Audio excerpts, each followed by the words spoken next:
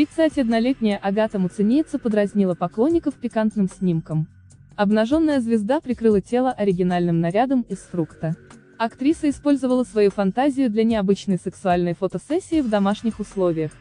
Муцениеца разделась в кадре, а интимные части тела закрыла изящным платьем из груши. Фруктовый модный приговор открыт. Подписала забавный кадр Агата. Бывшая возлюбленная Павла Прилучного предложила поклонникам устроить флешмоб. Участники должны поделиться в сети похожими фотографиями с хэштегом. Не дадим себе скучать в изоляции. Берем фрукты, вырезаем из них наряды и примеряем на себя, призвала Муцениеца. Вадим Галыгин потроллил Агату. Давайте без фруктов, с иронией попросил артист. С юмором ответили и другие подписчики Муцениеца, намекнув на то, что без привычной физической активности тяжело сохранить стройность.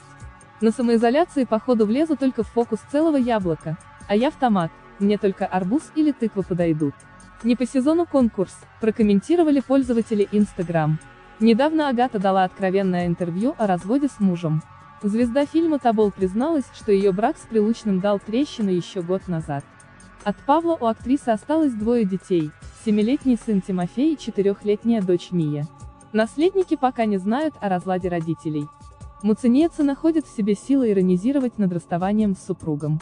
Агата с позитивом отнеслась к предложениям спамщиков в социальных сетях по возврату любимого мужчины.